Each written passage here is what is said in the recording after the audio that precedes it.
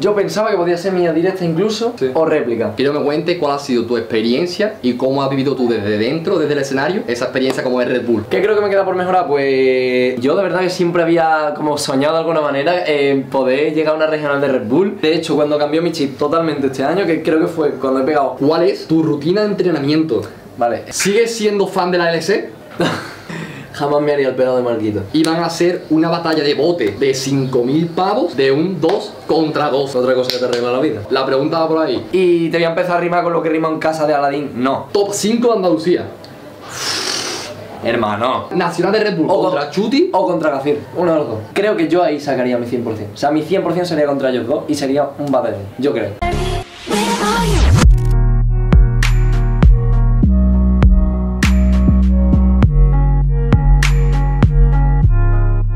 Vale, siguiendo por esta rama de FMS y tal, hace poco FMS anunció de que dentro de poco, si no me equivoco, el 2 de, el 2 de julio, iban a hacer una batalla de bote de 5.000 pavos de un 2 contra 2. Otra cosa que te arregla la vida.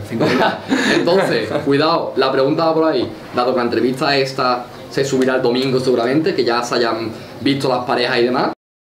Esto es una exclusiva, pero realmente no es una exclusiva porque se sabía, ¿sabes? Pero se puede decir ya cuál es tu pareja y cómo ves Eso sí es una exclusiva. Bueno, claro. Eso sí es una aquí, aquí es una exclusiva porque aún no se sabe. Claro. Pero cuando se suba, no va a ser una exclusiva. No está 100%, 100% con... Bueno, sí está hablado, está hablado y, y es lo más seguro. ¿no? Ah, y también, como ves, esa iniciativa por parte de FMS de tener la batalla bote 2 para 2. Me parece súper guapa, me parece muy guapa. O sea, yo lo vi y dije, "Uf, muy guay, tío. O sea, sobre todo lo de que los chavales de FMS puedan coger chavales de Lander y, y que además se puedan apuntar chavales de Lander por su cuenta por prueba. Es que es eso, tío, Y cuatro seleccionados por prueba, cuatro por público, ¿sabes? Ajá. Me gusta mucho cómo, cómo le han hecho eso y sobre todo la idea de, hostia, una dupla así a nivel nacional grande con 5.000 euros de Es bote, que, es que es muy goloso, tío. Esa batalla va a ser muy Sí, golosa. Sí, sí, ¿eh? sí, muy chulo. Además, si lo organiza FMS, nos da el triple de visibilidad a todos los chavales, ¿sabes? Y eso está Claro. muy bien. Y luego tu Pues, pareja. ¿con, con quién voy? A ver, ¿Con quién vas? no sé, no sé si se puede decir. Bueno, es que yo, claro, cuando subas esto, yo creo que ya. Sí, A ver, sí mira, lo si tú me dices. A ver, es un me alguien dices- muy diferente a mí, ¿vale? O sea, Si tú me di- nadie de FMS.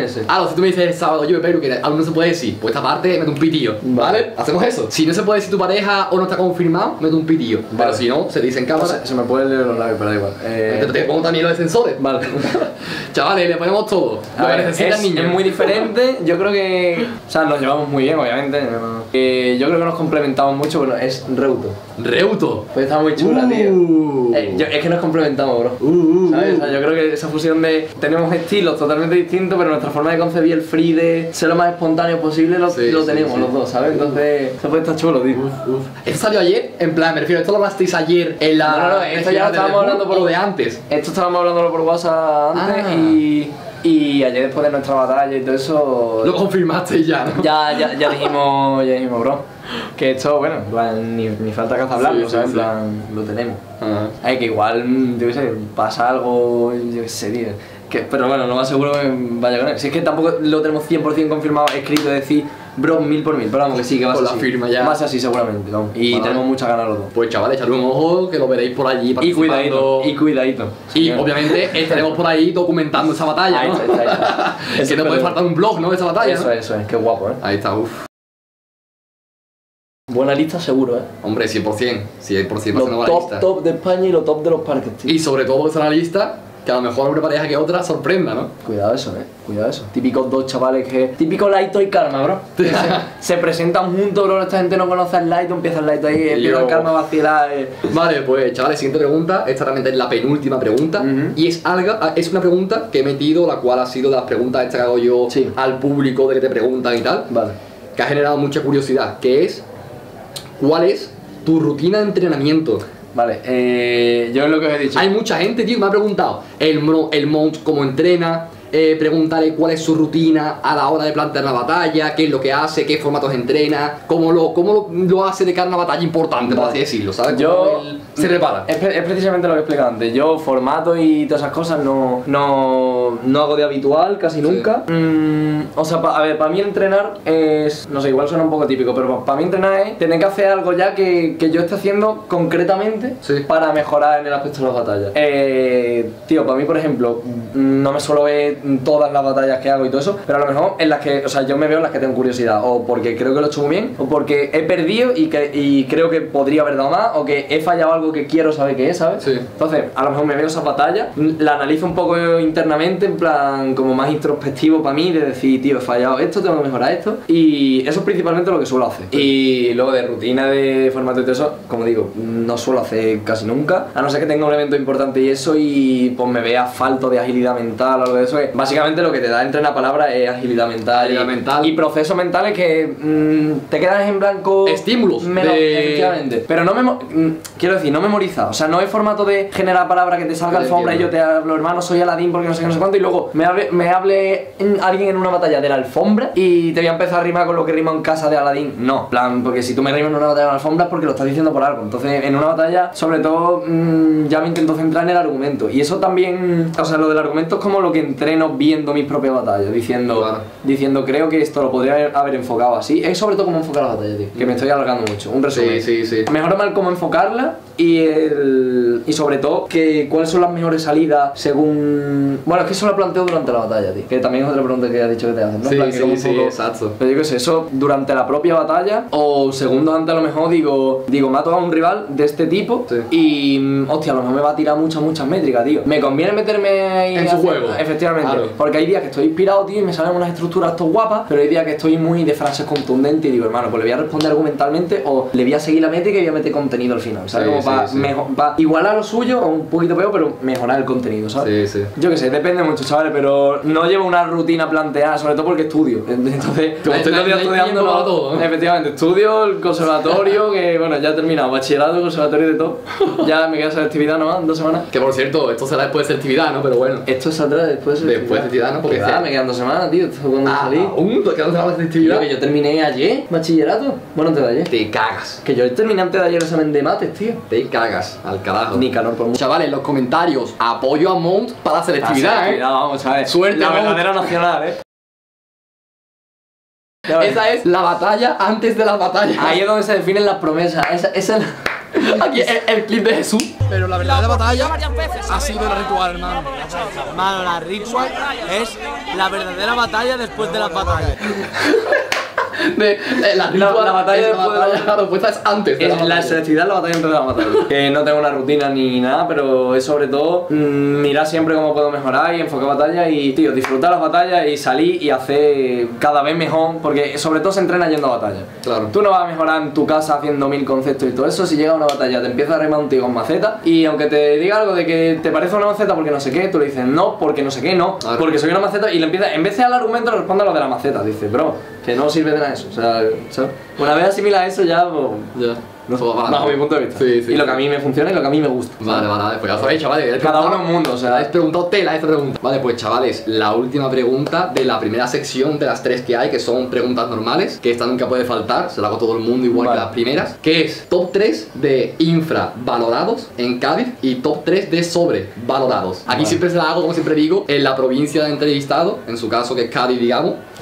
Eh, así que esa Vale. es la pregunta. Top 3 infravalorado. Infravalorado. Infravalorado porque sobrevalorado no se me ocurre gran cosa, la verdad. Eh, infravalorado. Te voy a Sí. decir Zimmer. Vale. Zimmer creo que tiene una proyección brutal. Es, es agresivo, está loco, plan. Como persona está loquísimo. Es, Sí, es el puto sí, sí. como chaval, ¿eh? pero está todo loco, pero luego estoy ingenioso y. No, es muy bueno, muy bueno. Eh, Pajarito. Pajarito, ¿vale? Pajarito en plan muy bueno, tío. O sea, creo que se le valora poco, tío. Y, y el chaval es muy bueno, tío, es muy bueno. Sí. O sea, mm, es muy free, ¿sabes? Es Sí, muy free, sí, contundente. sí. Va, al, va al hueso metriqueando. O sea, no una métrica súper. No hace métrica vacía, tío. Métrica Ya, muy ya, bien. ya, ya. Y. ¿Quién más te puedo decir, tío?